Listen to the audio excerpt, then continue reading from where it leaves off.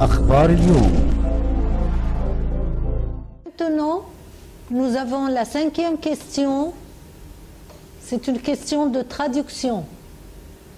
On traduit du français en arabe et nous avons une autre version de- d'arabe en français.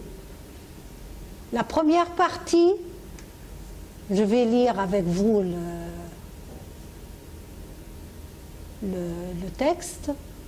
On croit souvent qu'il y a une concurrence entre les technologies modernes comme Internet et le livre, mais ce n'est pas vrai. Le monde continue à respecter le livre et à le considérer comme l'outil principal du savoir. Et si les moyens électroniques de l'information permettent un savoir rapide, le bon livre demeure éternellement à travers les générations.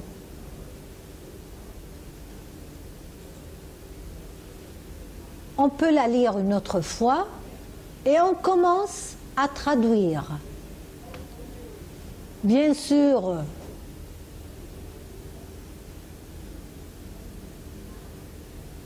يعتقد البعض أن هناك منافسة بين التكنولوجيا الحديثة مثل الإنترنت وبين الكتاب ولكن ذلك غير صحيح لأن العالم لا يزال يحترم الكتاب ويعتبره الأداة الرئيسية للمعرفة أو الأداة الرئيسة للمعرفة.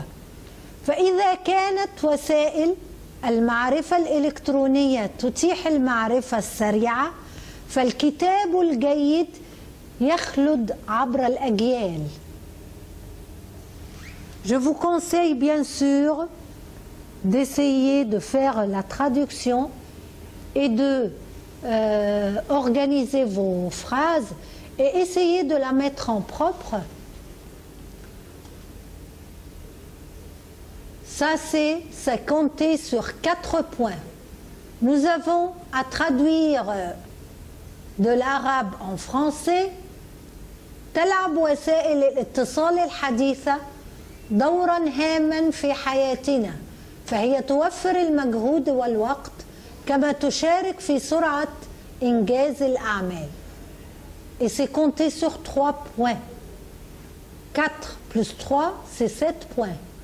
On essaye de traduire en français.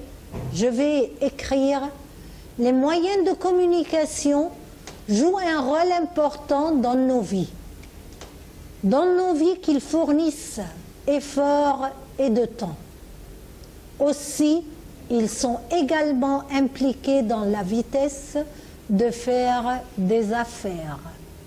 Merci et bonne chance et avec mes meilleurs voeux, je vous souhaite une très bonne réussite.